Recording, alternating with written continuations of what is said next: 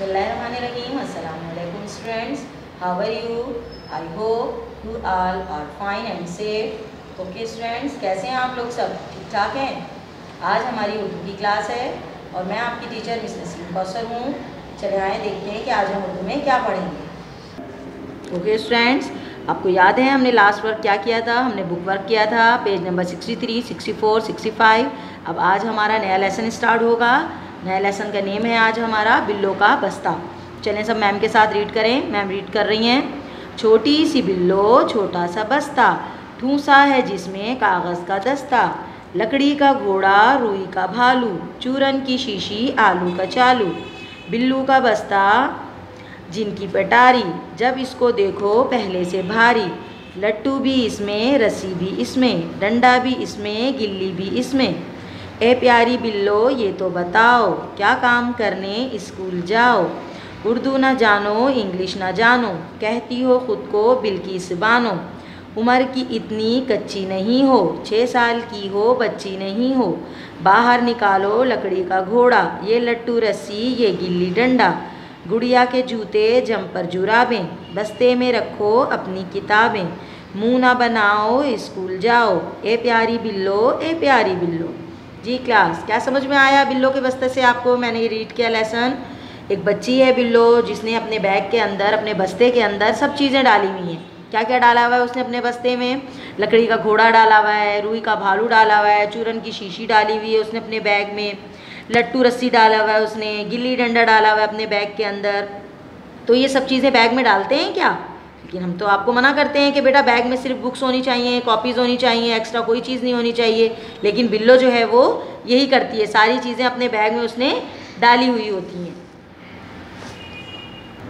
लेकिन इस नज़म में इब्ने इंशा ने क्या कहा है कि बिल्लो, बेटा अपने बस्ते में आपने ये सब चीज़ें नहीं रखनी और आपने अपने बस्ते में अपनी किताबें रखनी हैं। और स्कूल जाना है आपने, क्योंकि जब आप ये सब चीज़ें नहीं रखेंगे बैग में तो फिर आप स्कूल जाके क्या करेंगे? जब स्कूल जाएँगे तो बैग में किताबें होनी चाहिए ना। तो इब्ने इंशा कह रहे हैं, शायर, बिल्लो को कि अपने बैग में, बस्ते में आपने किताबें रखनी है। और स्कूल जाएँ आप, मुँह ना बनाएँ, स्कूल जाओ और कह रहे हैं, ए प्यारी बिल्लो, ए प्यारी बिल्लो। ओके स्टूडेंट्स हमने बिल्लो का बस्ता रीड कर लिया। आपने समझ भी लिया होगा बिल्लो के बस्ते में क्या क्या बातें हुई हैं। क्या क्या कर रही थी बिल्लो? और अब हमने आगे बुक वर्क करना है। चले आए हमारे साथ बुक वर्क करें। ओके स्टूडेंट्स अब हम पेज नंबर ट्वेंटी एट पे बुक वर्क करते हैं। ओके स्टूडेंट्स पेज नंबर है हमारा sixty eight sorry sixty eight page पे हमारा बुक वर्क है। चलिए बुक वर्क करते हैं हम। हमारा सवाल है ये, सवालों के जवाब अपनी कॉपी में लिखिए। लेकिन हम कॉपी में नहीं लिखेंगे, बल्कि हमने इसी में ही टिक लगा देंगे हम। ये बुक वर्क करना है आपने। नंबर वन है, बिल्लो, कैसी बच्ची है? खलेंडरी या पढ़ने की शौकीन। तो अब आपने इन दोनों में से टिक लगाना है। खलेंडरी कहते हैं शरारती को, चुलबुली को और पढ़ने की शौकीन ना होने को। लेकिन आपको तो पता है बिल्लो क्या, कैसी थी? खलेंडरी थी या पढ़ने की शौकीन थी? जी, खलंडरी थी बच्ची, शरारती थी, क्योंकि वो उसने अपने बैग में सब, बस्ते में सब चीज़ें भरी हुई थी। तो इसलिए किस पे टिक लगाएँगे आप? खलंडरी पे। और खलंडरी के मीन्स मैंने आपको बता दिए। चुलबुली, शरारती पढ़ने की शौकीन नहीं है वो, इस वजह से। इसमें हमने खलंडरी पे टिक लगा दिया। चलिए हम नंबर टू पे आ जाएँ। आपके ख्याल में ये नज़म किसकी ज़बानी है? अम्मी की, अब्बू की या किसी और की? अम्मी की भी नहीं थी ये पोएम अब्बू ने भी नहीं सुनाई थी, बल्कि इब्ने इंशा शायर हैं, उन्होंने ये नज़म लिखी है और सुनाई है। तो इसलिए हम किस पे टिक लगाएँगे? किसी और की पे। टिक लगा दें मैम के साथ, किसी और की पे। चलें, अब पेज नंबर 69 पे आ जाएँ। ओके स्टूडेंट्स पेज नंबर 68 हमने कर लिया। अब हम पेज नंबर 69 पे आते हैं। 69 पे के पेज पे क्या वर्क है? क्वेश्चन नंबर टू है हमारा, हम आवाज़ अल्फाज लिखिए। हम आवाज़ अल्फाज लिखिए, क्या मीन्स है? यानी हमने इससे मिलते जुलते अल्फाज लिखने हैं। अब है, जाओ यहाँ लिखा हुआ है, जाओ से हमें हम आवाज़ अल्फाज यानी मिलते जुलते आवाज़, एक ही आवाज़ आने वाले अल्फाज हमने लिखने हैं। अब हम क्या अल्फाज लिखेंगे? जाओ से सोचें ज़रा क्या क्या आएगा? आओ। देखें, इसकी आवाज़ भी जाओ से मिल रही है। आओ, खाओ, लाओ। देखें, मिल रही है नहीं ये? जाओ से सब आवाज़ें मिल रही हैं। मिलती जुलती आवाज़ है। और हम आवाज़ का, और हम आवाज़ का जो आखिरी का अल्फाज होता है, जो हम राइट करते हैं, वो एक ही जैसा होता है। देखिए यहाँ भी यही था, जाओ में। वाव पे हमज़ा था, यहाँ पर भी वाव पे हमज़ा, यहाँ भी वाव पे हमज़ा, यहाँ भी वाव पे हमज़ा। यानी कि जब हम हम आवाज़, अल्फाज लिखते हैं तो उसका आखिर का जो लफ्ज़ होता है वो एक ही जैसा आता है। उससे भी हमें पता चल सकता है कि हम आवाज़ अल्फाज हैं, ये मिलते जुलते अल्फाज हैं। चलें, अब हम लिखते हैं, नीचे क्या राइट है? बानो। तो हमने बानो से ही मिलते जुलते अल्फाज नीचे राइट करने। अब बानो से हम आवाज़ अल्फाज क्या क्या होंगे? बानो के बाद क्या लिखती हूँ मैं? मानो। मैम के साथ लिखें मानो। देखिए मिलते जुलते अल्फाज है ना उससे, बानो से। अब है जानो।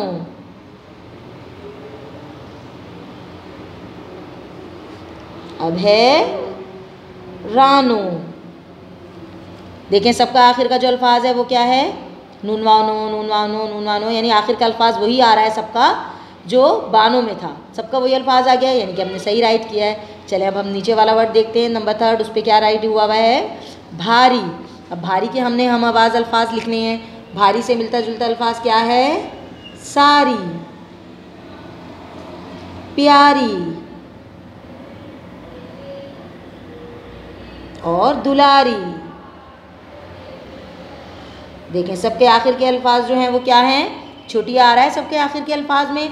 भारी में भी छोटी है था और बाकी जो मैंने जो हम आवाज़ अल्फाज लिखे हैं, उसमें भी छोटी आ रहा है। तो ये सब यानी कि क्या हैं? हम आवाज़ अल्फाज हैं। उसी तरह आवाज़ निकल रही है इसकी।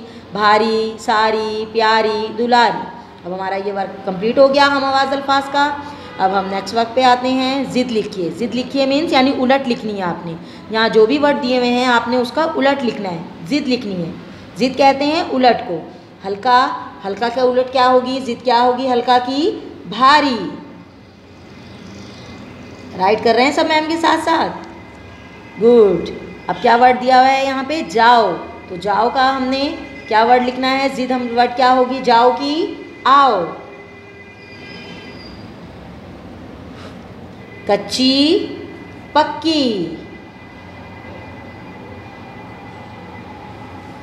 बात पहले। जी, ये कंप्लीट हो गया हमारा वर्क। ज़िद लिखनी थी हमें, हमने ज़िद लिख दी। हल्का की ज़िद क्या थी? भारी। जाओ की ज़िद क्या थी? आओ। कच्ची की ज़िद क्या थी? पक्की। और बात की ज़िद क्या थी? पहले। कंप्लीट हो गया हमारा ये वर्क चलें, अब हम नीचे आते हैं। सौतियात पढ़ते हैं हम सौतियात में हमने नीचे ये क्या वर्क करना है? चलें देखते हैं। एराब, यानी ज़ेर, ज़बर और पेश आवाज़ों को मुख्तसर करते हैं। यानी एराब कहते हैं ज़ेर को, ज़बर को और पेश को। और जब ये जब लग जाते हैं तो आवाज़ें क्या हो जाती हैं? मुख्तसर हो जाती हैं। जब हम ज़ेर लगाते हैं, ज़बर लगाते हैं या पेश लगाते हैं तो हमारी आवाज़ें जो हैं वो अल्फाज की क्या होती हैं? मुख्तसर होता, हो जाती हैं। चलो मिसाल यहाँ दी हुई है कि ज़ेर है यहाँ लिखा हुआ है, दाल, ये, नून, दीन। अब हमने इसकी आवाज़ को मुख्तसर कैसे करा हमने? या को हमने अगर हम ड्रॉप कर देते हैं तो हाँ और हम यहाँ पे ज़ेर लगा देते हैं, दाल और नून के साथ तो इसकी आवाज़ क्या हो गई? मुख्तसर हो गई। तो क्या हो गया ये इसकी अल्फाज? दिन हो गई। अब ये नीचे देखें यहाँ पर इसके बराबर में, भे येड़े भेड़। भे येड़े भेड़ में हमने ये की आवाज़ को हम ड्रॉप कर देते हैं और हम इधर भेड़े के साथ ज़ेर लगा देते हैं। तो इसकी आवाज़ क्या हो गई? मुख्तसर हो गई। तो इसलिए हमने जब ज़ेर लगाते हैं तो आवाज़ें जो होती हैं, वो मुख्तसर हो जाती हैं। तो यहाँ भेड़ था और यहाँ पे हमने ज़ेर लगा दिया तो इसकी आवाज़ क्या हो गई? भीड़। अब ये ज़ेर की आवाज़ आपने देखी। अब ज़बर की देखें। ज़बर में है दाल, अलिफ ज़बर दा, मीम साकिन, दाम। अब मैंने, अब यहाँ पे क्या लिखा हुआ है? दाल, मीम। अब यहाँ पे ज़बर लगा दिया इन्होंने तो इसकी आवाज़ में अलिफ ड्रॉप कर दिया। तो यहाँ इसकी आवाज़ क्या हो गई? मुख्तसर हो गई इसकी आवाज़। दम। यहाँ दाम थी, लेकिन हमने यहाँ पे ज़बर लगा दिया है इसके साथ। ज़बर लगा हुआ है तो इसकी आवाज़ क्या हो गई? मुख्तसर हो गई। क्या हो गई आवाज़ उसकी? दम। अब यहाँ पे है ते अलिफ ज़बर ताल, आम साकिन ताल। अब यहाँ आगे लिखा हुआ है, हमने यहाँ अलिफ को ड्रॉप करते हैं और यहाँ पे सिर्फ़ हम ते और लाम लिखते हैं और उसके ऊपर ज़बर लगा देते हैं। तो क्या बन गई इसकी आवाज़? तल। इसकी आवाज़ यानी मुख्तसर हो गई, यहाँ ताल थी आवाज़ और यहाँ पे आ रही है तल। आवाज़ मुख्तसर हो गई तो क्या हो गई इसकी, अगर ज़बर लगाने से आवाज़ इसकी मुख्तसर हो गई, तल। अब यहाँ पेश है, पेश लिखा हुआ है, बेवाओ, पेश बोल आमल ज़बर, ला, बोला। ओके स्टूडेंट्स हम कहाँ थे? बेवा पेश बोल आमल ज़बर, ला, बोला। अब हमने यहाँ पे आगे क्या करा है इन्होंने? बे लाम अलिफ ला, इसके साथ मिला दिया और वाव को ड्रॉप कर दिया और ऊपर क्या लगा दिया? पेश लगा दिया। तो ये क्या आवाज़ इसकी क्या हो गई? मुख्तसर हो गई, बुला। अब है काफ, दो चश्मी है वाओ पेश खो लाम, साकिन, खोल। अब इसकी आवाज़ यहाँ आगे कैसे लिखी? काफ, दो चश्मी है, लाम, इन्होंने लिख दिया और वाव को ड्रॉप कर दिया। तो क्या आ गई? इसकी आवाज़ में पेश लगा दिया। तो क्या बन गई? इसकी आवाज़ मुख्तसर हो गई, खुल।